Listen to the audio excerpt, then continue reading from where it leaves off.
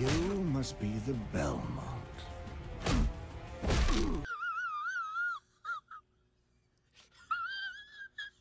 I liked Castlevania. The animation was beautiful, the action creative and epic to watch. I liked the more subtle voice acting and sometimes Call of Duty lobby dialogue and insults. I'm going to eat your soul, shit it out, and use it to smother your fucking girlfriend to death. Story was epic, and the characters were unique. It did, however, have its flaws. There were times the voices were too whispery and silent, and sometimes it felt like everyone was just doing impressions of everyone else. There was a lot of characters and characterization, but sometimes too much, and it pulled the focus away from the three main characters, which were the real heart of the show. The first two seasons were fantastic. The team dynamic between Trevor, Alucard, and Sypha was fun and interesting. Dracula was a complex and foreboding villain.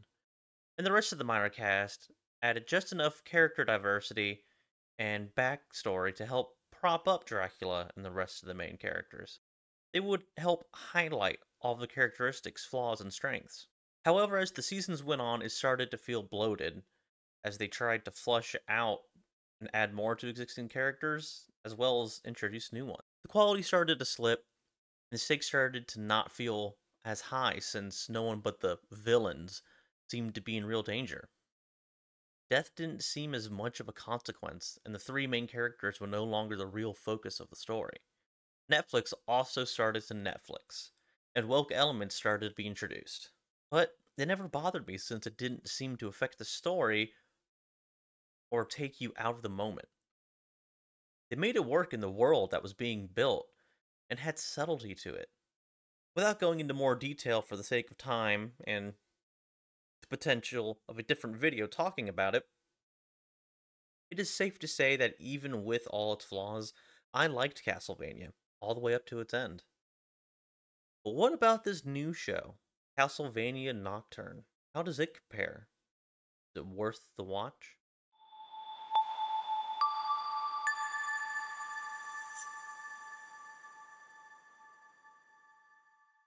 Now, it should be said that I'm a normie when it comes to Castlevania. I have never played the games, and my only knowledge about Castlevania and its universe comes from the original Netflix show. That being said, let's begin, and there will be plenty of spoilers, so you have been warned. Castlevania Nocturne is set around the times of the French Revolution and follows the events of Richter Belmont, Maria Renard, and Annette. The main vampire of the season, and from what it looks like the entire series, is Erzsébet Athery, or however it's actually pronounced. She wants to plunge the world into eternal darkness so vampires can rule and feed at all times of the day. And then there's Olrox, who's an Aztec vampire who killed Richter's mother when he was a kid in Boston. There are, of course, a number of other characters that are important to the story being played out, but again, for the sake of time, I won't be going over all of them or the entire plot of the season. First thing to point out about the season is that it looks amazing. The animation is beautiful and the fights were well executed. The animation and effects department are clearly putting in the effort, and the reward is some great visuals. It still looks and feels like the same universe, and it still sounds like the same universe. Once again, everyone is speaking the same types of voices in the same way as the original series. While I do still like the more subtle and grounded way to speak as opposed to the more overly emotional talk you might get in traditional anime, primarily compared to dubbed anime, it's still a little jarring when they all speak the exact same way. No one is more unique, talkative, bubbly, or even monotone than the other. This isn't a major criticism, but it is something that can get a little annoying sometimes. Once in a while, you want someone that has a little energy and not sound like they haven't slept in a week. Along with speaking the same way, Richter Belmont more or less acts the same as Trevor Belmont from the original series. He's characterized like if Trevor had Sypha's magic, and that isn't necessarily a bad thing since he is directly related to them. I mean, don't get me wrong, it is a fun character type. Sort of a magical code. It will have the name of the person he was trying to bring back from the dead.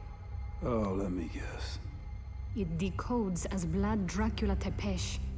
Why the fuck would anyone do that? Huh? Would you do that? I wish I could fucking kill you twice! I was going to say something witty and cutting and brutal before I finished you off. But fuck it.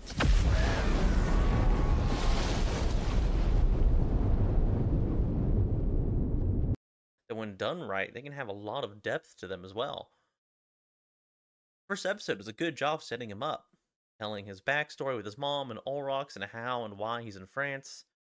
Also sets up his relationship with Maria and his relative skills and combat ability.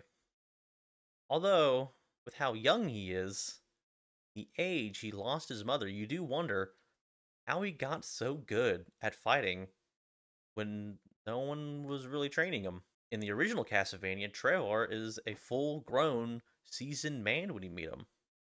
Even though he is the last Belmont, you believe he's still capable.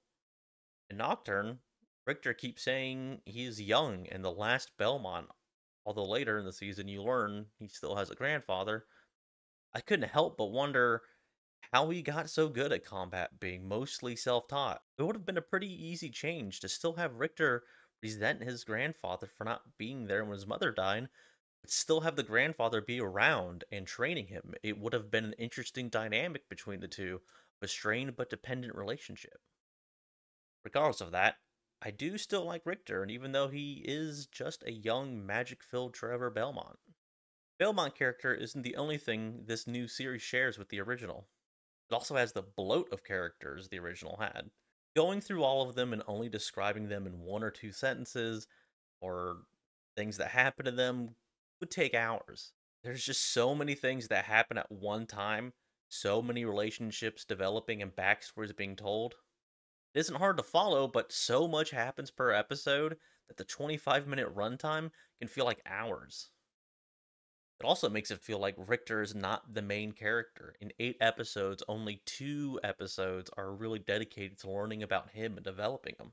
Which leads me to a major problem I have with the show. Richter was introduced in episode one, and it looks like the show was going to be heavily set around him and Maria. But as soon as Annette came into the picture, Richter was sidelined and became mostly the Annette and a generous portion of Maria show. Netflix pulled a Netflix.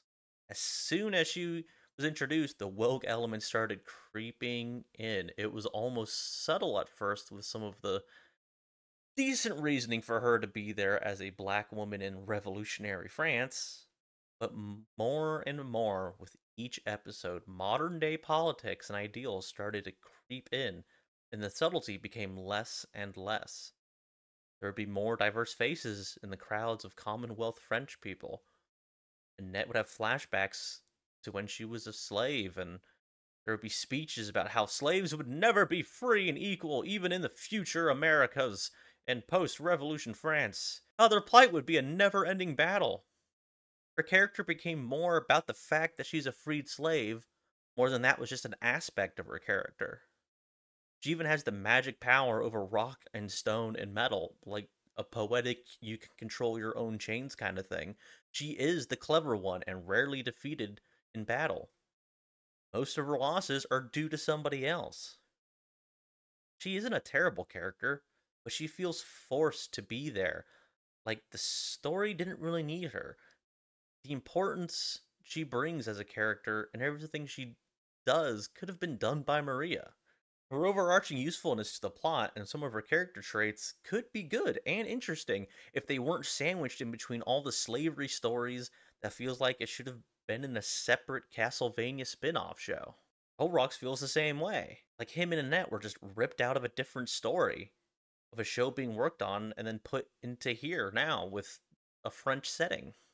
Speaking of Olrox, he is a gay Aztec vampire that once had a Mohican lover who he turned into a vampire so he wouldn't lose him during the Revolutionary War.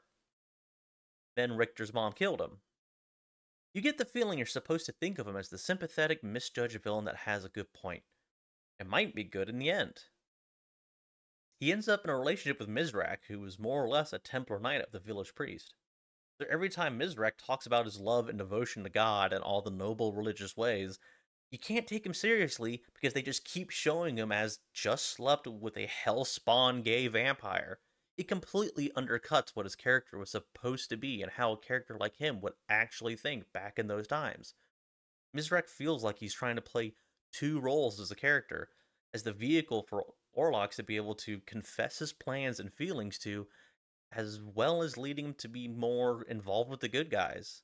And then he's also supposed to be the hold fast, no, you're not doing God's will and you lost your way voice to the abbot. This should have probably just been two separate characters, even though I think there are way too many already. But back to Olrox. When he was first introduced, I took him as a vampire that happened to be Aztec. But then it became more he's an Aztec man that happens to be a vampire.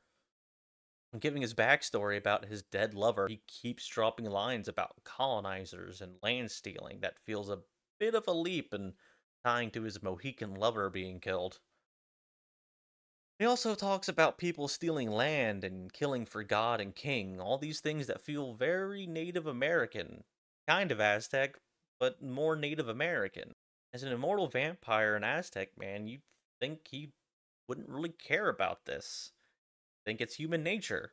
He has probably seen plenty of death, land theft, and claims of power. Yeah, he probably did a lot of it himself.